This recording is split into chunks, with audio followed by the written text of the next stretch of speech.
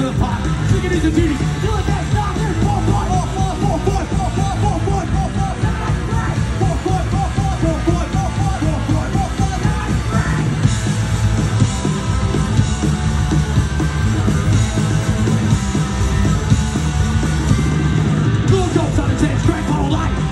there's